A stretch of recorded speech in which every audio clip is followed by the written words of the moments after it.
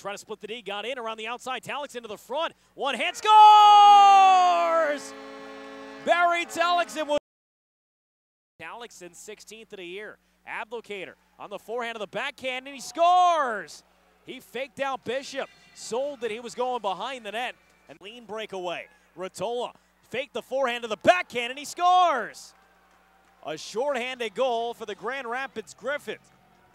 And it's a 2-1 Grand Rapids out to Strachan as it rolls free. Yulin's wrist shot, score!